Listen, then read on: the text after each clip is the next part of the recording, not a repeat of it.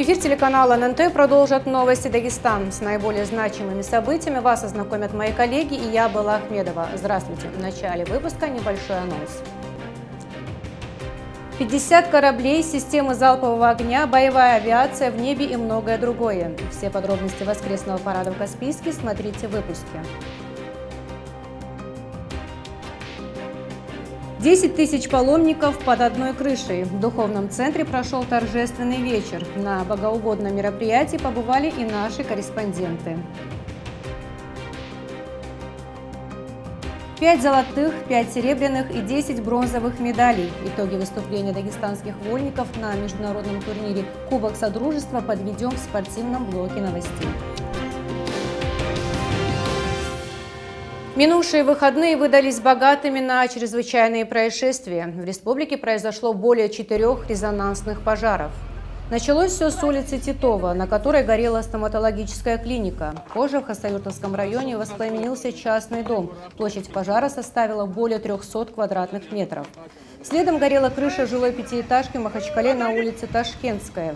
А уже вечером спасатели тушили автомобиль на углу Яракского и Ирчи-Казака. По предварительной информации, из-за утечки бензина водитель был экстренно доставлен в больницу. В остальных случаях обошлось без пострадавших и жертв. Короче, приора это сгорела. В сентябре в Сергокалинском районе откроются сразу несколько отремонтированных школ. Накануне готовность к предстоящему новому учебному году проверил председатель правительства республики Абдул-Муслим Абдул-Муслимов. В ходе осмотра образовательного учреждения в районном центре премьер выразил недовольство состоянием школьного пищеблока и дал на месте соответствующее поручение. Поэтому здесь мы, Магомед Амирович, стопроцентно возьмемся за строительство. Полы, э, вернее, подвал, конечно, это, это не дело. Это не серьезно. Это не серьезно. 500 детей, чтобы питались в таком месте. Поэтому это наша недоработка, недоработка. Э, мы все эти вопросы проработаем. Вам спасибо, что вы сами берете на себя ответственность завершить работу Отметим, что в целом в Сергокалинском районе в рамках программы «Модернизация школьных систем образования» в 2023 году проводится капитальный ремонт пяти общеобразовательных организаций на общую сумму более 32 миллионов рублей. Тысячи горожан и гостей Каспийска в прибрежном парке стали свидетелями настоящего праздника. День военно-морского флота России они увидели на воде запоминающееся шоу с участием 50 боевых кораблей и вспомогательных судов. В параде также были задействованы быстроходные катера, системы залпового огня и боевая авиация. Все это своими глазами увидели и наши корреспонденты. Слово Кариму Гамаеву.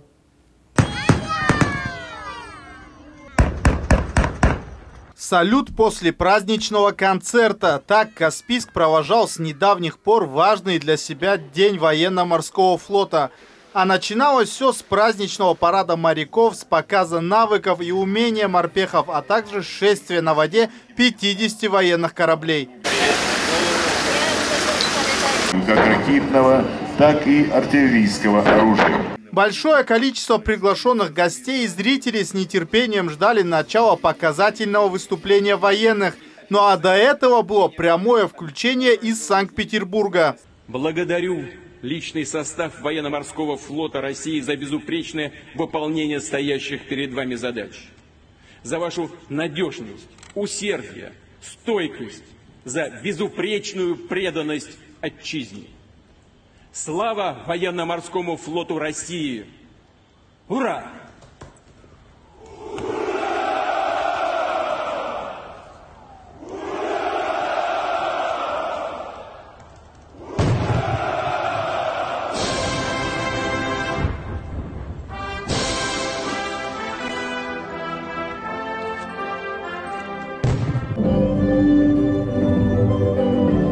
Большое количество приглашенных гостей, в том числе ветераны, ветераны специальной военной операции, большое количество представителей СМИ. Только что Каспийск принимал прямое включение президента Российской Федерации Владимира Владимировича Путина из города Санкт-Петербург. Верховный главнокомандующий поздравил всех с Днем военно-морского флота. Ну а тут парад объявляется открытым. Здравствуйте, товарищи!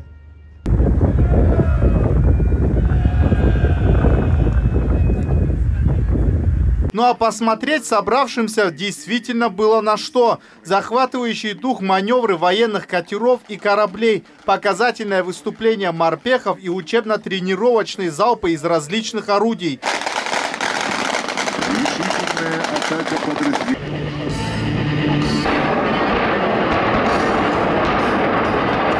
Выступление оставило бурю положительных эмоций как у зрителей, так и у самих участников парада. Честно сказать, это были замечательные впечатления. Мы еще молодые бойцы, не прошли курс молодого бойца. И на День ВМФ решили выступить, поддержать нашу флотилию Каспийскую. Честно, очень советую. Так что это неописуемые эмоции, стрельба, корабли, выстрелы. Нам очень сильно понравилось. Я старший мичман в отставке уже теперь. Много нового сейчас, вот то, что я смотрю, много нового, интересного даже для меня. У меня большой стаж, очень большой стаж. И уже вот 4 года, как я не служу, за 4 года я что-то уже новенькое для себя здесь вижу тоже. Адреналин, что я могу сказать. Когда смотришь, вот реально такой вот, а, распирает адреналин, кайф. Так, извиняюсь, да, но реально очень здорово. В завершении мероприятия премьер-министр республики и командующий Каспийской флотилией наградили особо отличившихся в службе моряков и поздравили всех с праздничным днем, отметив особую важность в базировании флотилии именно в нашей республике. Я хотел бы всех поздравить с Днем военно-морского флота, пожелать вам мира, семейного благополучия, здоровья и счастья. Вы знаете, что в последние годы Верховным главнокомандующим было принято решение о дислокации Каспийской флотилии у нас в Республике Дагестан, в городе Каспийск. Это для нас очень важно. Это прежде всего вопросы военно-патриотического воспитания подрастающего поколения. Это и, соответственно, конечно, это все связано и с социально-экономическими вопросами, это и обеспечение рабочими местами и, соответственно, поступление э, налогов бюджеты разных уровней. Это и вообще и развитие республики.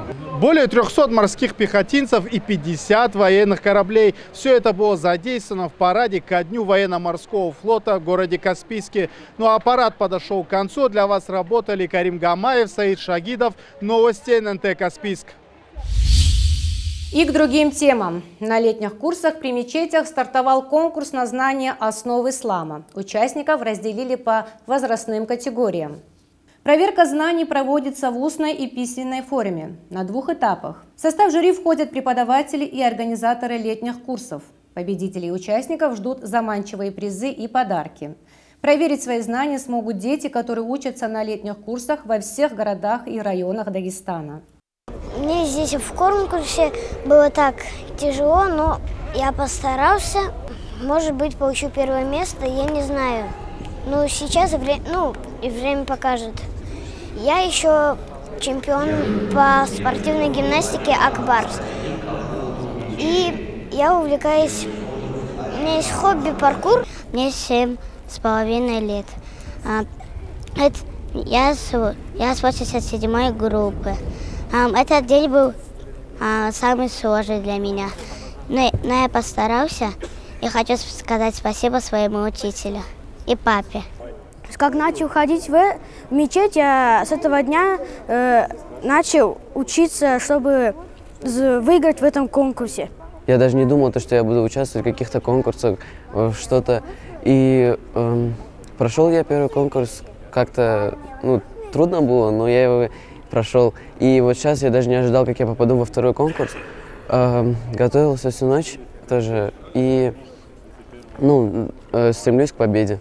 Спасибо маме, папе за то, что меня сюда отправили. Я уже месяц-полтора хожу и хочу очень научиться Коран читать. Этот конкурс является вторым и финальным этапом, так как первый этап мы проводили среди учеников в своих группах и выводили оттуда по три ученика.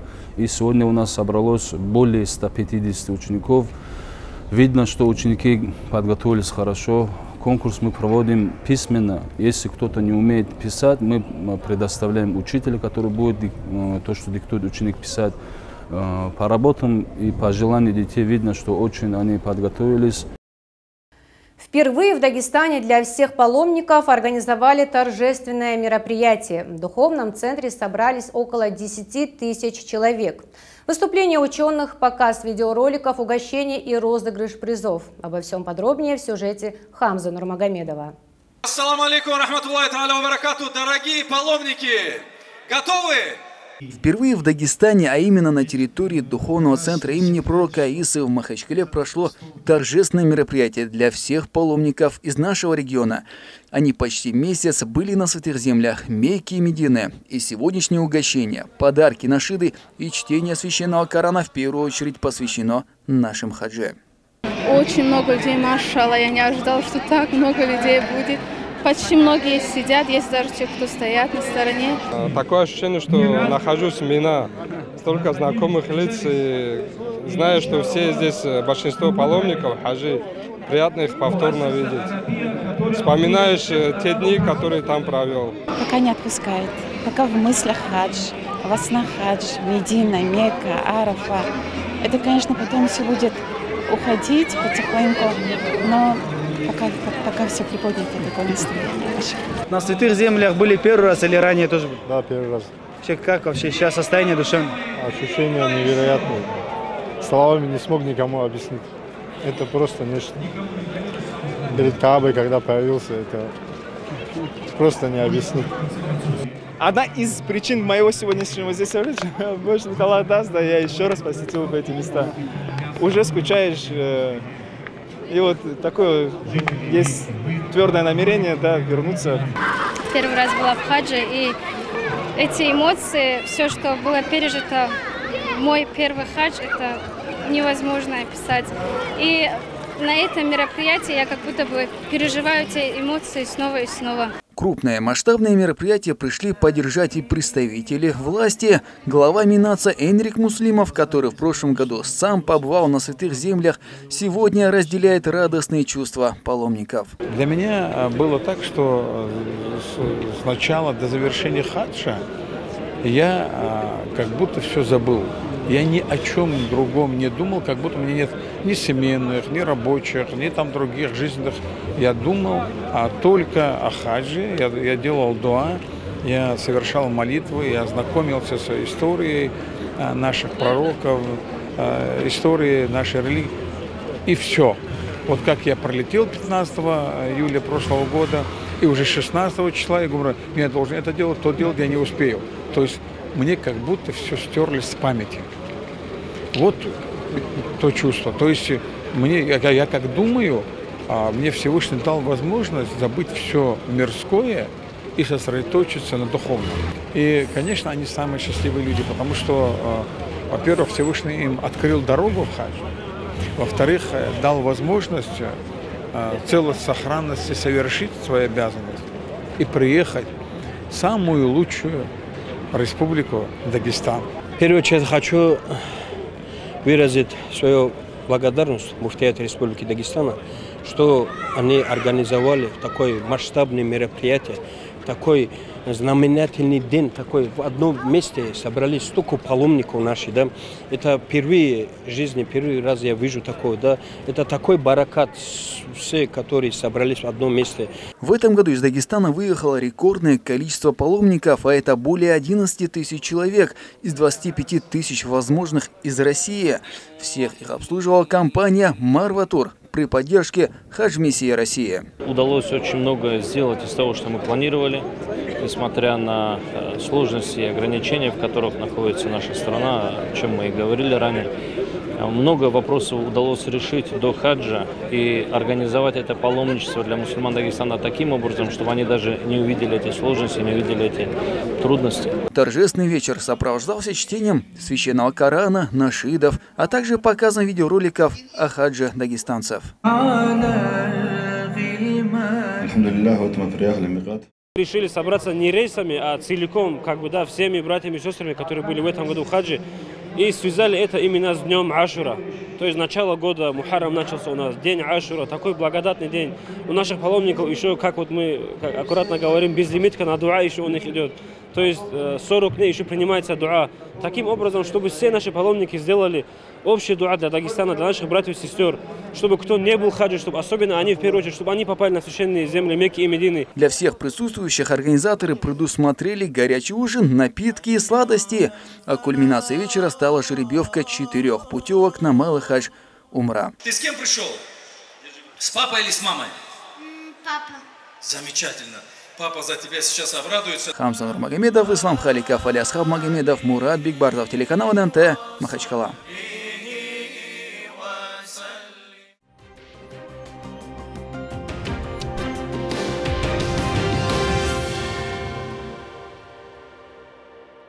И к новостям спорта.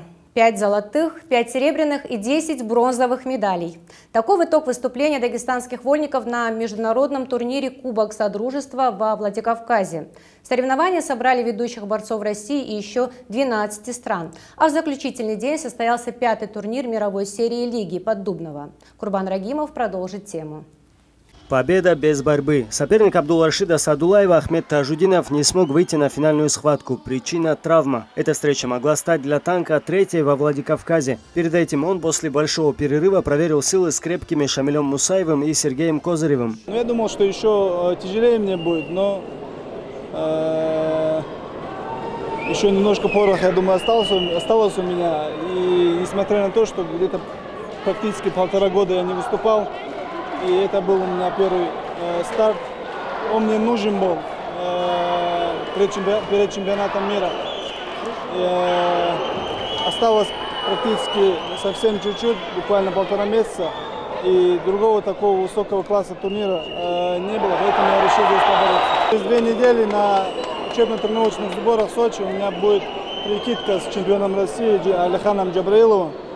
И э, там у нас решится, кто из нас выиграет, тот и поедет на чемпионат мира. Золото капитана стало для наших борцов пятым в столице Северной Осетии Алании. Также медалями высшей пробы отметились Гаджимагомед Нажмудинов, Ахмед Идрисов, Гаджмурад Алихмаев и Курбан Шираев, который поднялся на первую ступень пьедестала впервые с прошлого лета. Честно сказать, подошел как-то с легкостью. На сборах чуть приболел. И я, честно сказать, до последнего думал, отбороться или нет. Отец сказал, Борис, так, приехал по дороге. И ну, как, как говорится, к лучшему, видимо, было, да, что заболел тоже. Более легко отнесся, вышел на ковер, основном навязывать свою борьбу. То, что делаю, то, что отрабатываю ежедневно. Победное шествие борцы из Дагестана продолжили и в рамках мировой серии Лиги Поддубного. Новые весы и долгое отсутствие на международной арене не смогло сказаться на... Новые весы и долгое отсутствие на международной арене не сильно сказались на выступлении олимпийского чемпиона Заура Угуева. В главной схватке вечером встречался с трехкратным чемпионом Европы Арсеном Арутюняном. Поединок держал арену в напряжении все 6 минут. Угуев вел с отрывом в 4 балла, но ближе к концу армянский борец задал высокий темп и сократил разрыв в счете. Однако за оставшиеся 30 секунд опытный олимпиец все-таки сумел сохранить преимущество. В конце я уже все контролировал, а в начале хотел э, вырвать, взять балл, отор, отойти, оторваться вперед. Э, ну, вроде получилось, но что-то не получилось. Э, а так 6-4 закончилась схватка. Э, плохо, я думаю, еще можно было лучше побороться. Э, будем работать и смотреть схватки. В двух других главных поединках вечера каспичанин Ибрагим Ибрагимов одолел чемпиона Европы Вазгена Тиваняна, а Базгаджи Магомедов из Хасавюрта был сильнее турецкого борца Эмраха Урманаглу. Курбан Рагимов, Нурмагомед Магомедов, телеканал ННТ, Владикавказ. Это все, что хотели мы вам сегодня рассказать. Смотрите наши выпуски также в соцсетях. Всего доброго, до новых встреч в эфире.